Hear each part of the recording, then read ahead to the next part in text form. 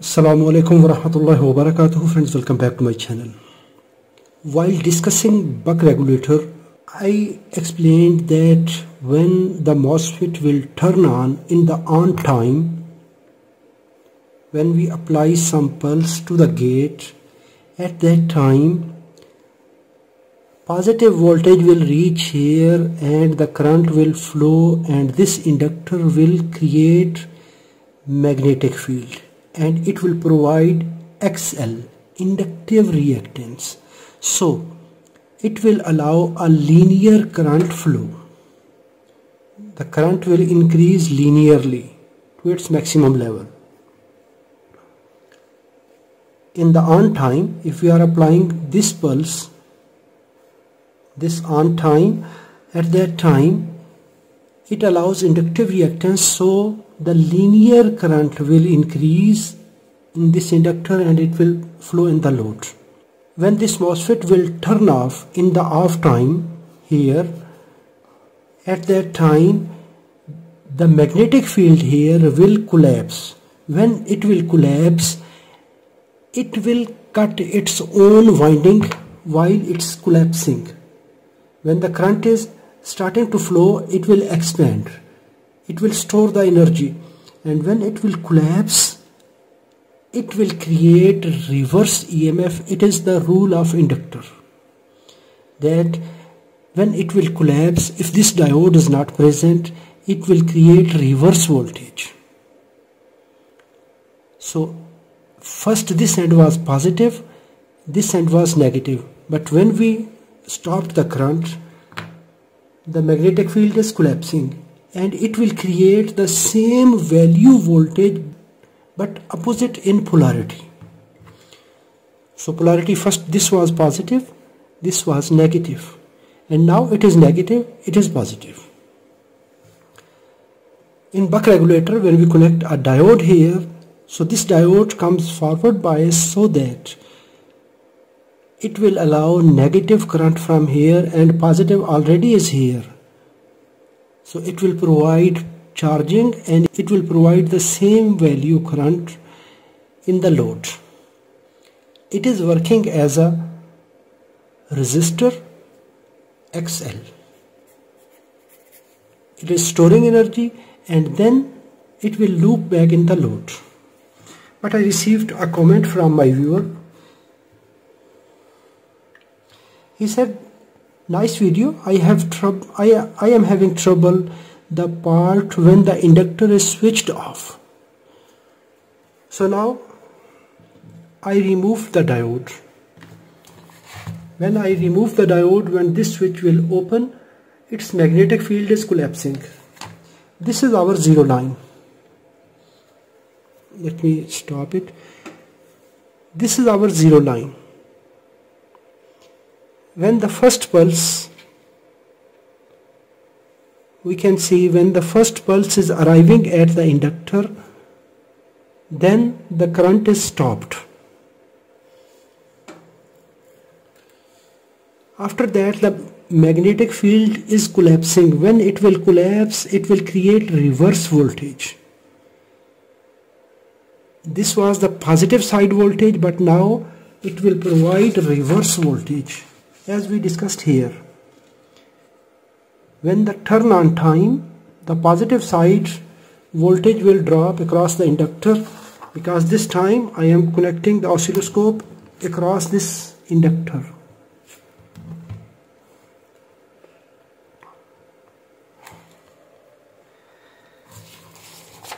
In the turn off time, when the pulse will turn off, the inductor will provide reverse voltage so here we are taking the reverse voltage. And then this magnetic field will build again because its own voltage will create magnetic field and it will collapse and expand collapse and expand. So it is called oscillation effect in the inductor. When the inductor generates magnetic field then it cuts again to its winding it will generate volt and then it will again this is called oscillation effect.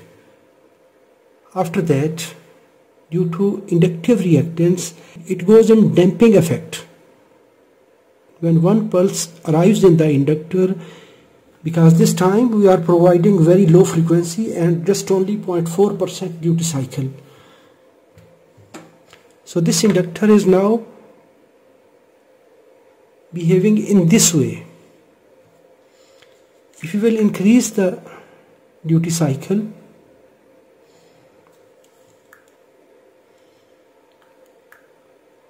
we can see there is overlap in the turn on time. This is turn on time because we are allowing 20% time. So 20% time this is the voltage across this inductor. After that it will collapse. When it will collapse it will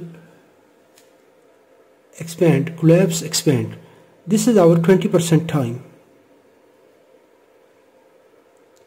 And if we will increase the frequency we can see the same oscillation effect is there.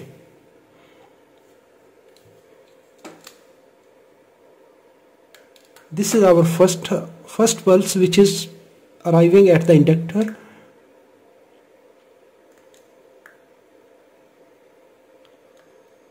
we can see if we are in continuous mode that we provide an other pulse when the magnetic field is still present so we will take this effect.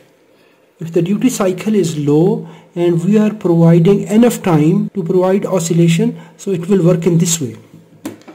So if you connect a diode here that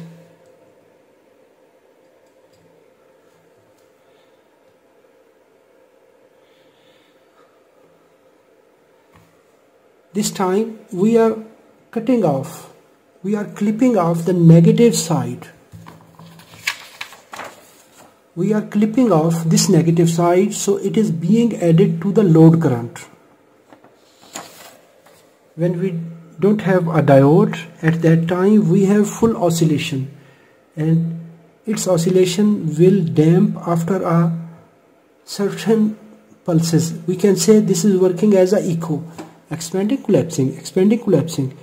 But when we have this freewheeling diode so it will utilize this collapsing magnetic field created by this inductor. So this is the turn on time and this is 0.7 volt for this diode which is offset. So when we connect this diode it will utilize the collapsing magnetic field. When we don't use diode, it will start oscillation and the load will also have